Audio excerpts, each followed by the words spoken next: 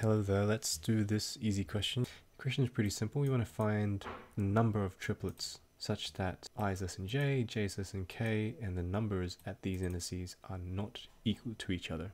Brute force, we can do it in n cubed. Well, does that work? Well, it's up to 100 numbers. If you do 100 cubed, that's doable. Uh, so let's do that. I guess that's why it's an easy question. We want to keep an answer count of how many triplets, and then we could just go through int i is equal to 0, i less than numbers. Let's do int n is equal to numbers of size.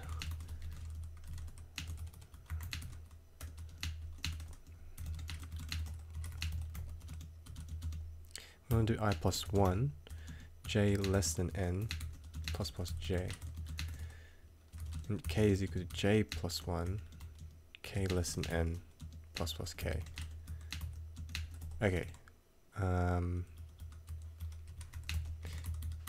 here, if if nums at i is equal oh, to nums at j, then we want to skip this case because we know this is not something we want to count. So let's just continue. And it's very something something very similar for here. We want we want i to be equal to k, or if or or i equal to or j equal to k. Okay. Otherwise do plus plus answer. Increment the answer and then return the answer. Nice one.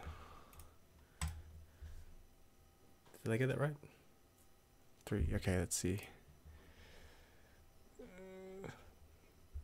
Nice one, Gary.